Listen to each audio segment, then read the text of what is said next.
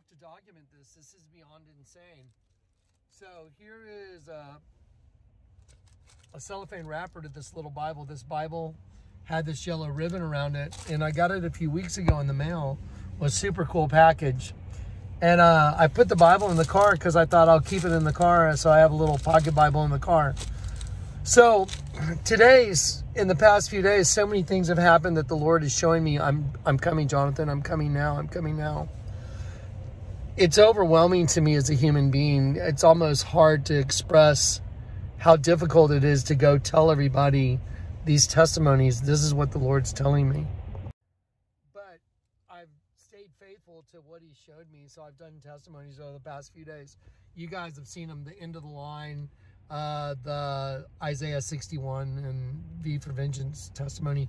Um, but this one right here, there was a yellow ribbon on the outside of the cellophane.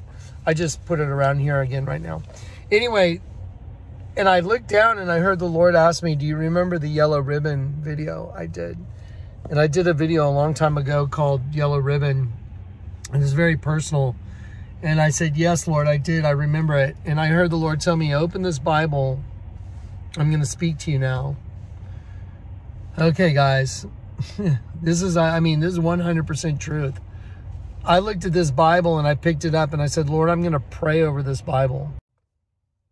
So I took the Bible and I prayed over it and I said, Father, please use this Bible to communicate to me. You've been telling me that you're coming and you've, even today, you said the moment I've been waiting for has arrived. And being a harbinger, I'm kind of freaking out. So I prayed over this little Bible and I said, please use this Bible to speak to me.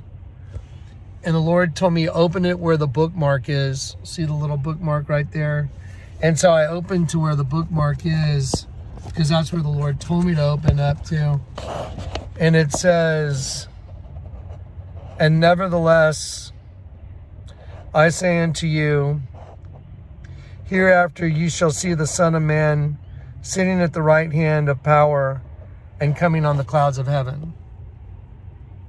Show me you're coming. You show me that you're coming, Lord. Sorry. Right there. So right where my thumb is. Anyway, I documented it. There's no way. I mean, just that's beyond insane. So the statistical probability of the last couple days is like one in a hundred trillion.